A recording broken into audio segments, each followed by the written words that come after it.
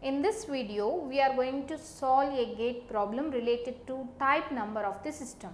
We already had a topic related to type number of system. We already uh, had a video related to this type number of the system.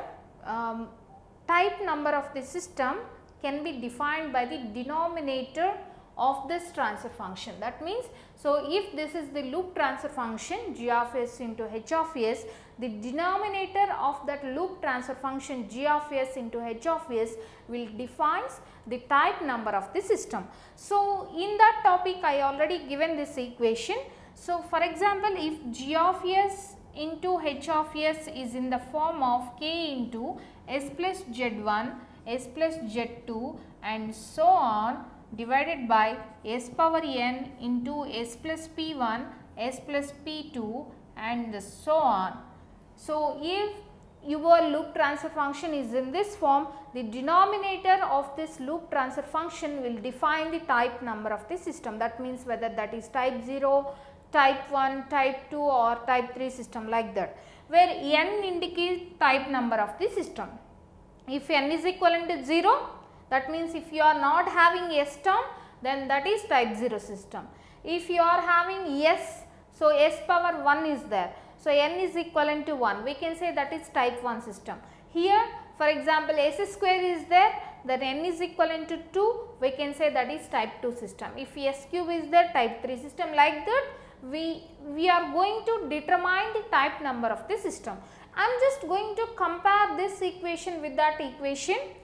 My given g of s into h of s is equivalent to k into 1 plus 0.5 into s divided by s into 1 plus s or s plus 1, 1 plus 2s like this I am having. So, here I am having s, so s power I am having 1.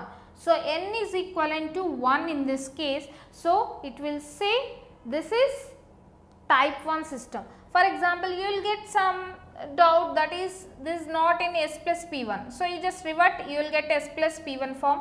So, if you take common of this S, so you will get this form. So, 1 by no need to take common of 1 plus 2s. Why? Because you will get by solving by equating this is equivalent to 0, you will get P2 value. You may have 2s or 3s like that. Only you need to see s term here. So, here in the power of s you are having 1 that means n is equivalent to 1. By comparing these two equations this term will be used to solve the pole 1, this term is used to solve pole P2 and here Z1, Z2 like this that means Z1, Z2, Z3 all these are zeros.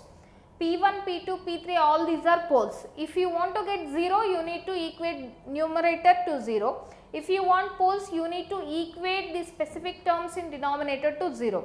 This S term specifically indicates the type number of the system. So, S power we need to see here in our problem on S power you are having 1. So, this will comes under type 1 system. So, this is type 1 system. So, here this is type of closed loop system is 1. So, type 1 system B is the right option for this problem.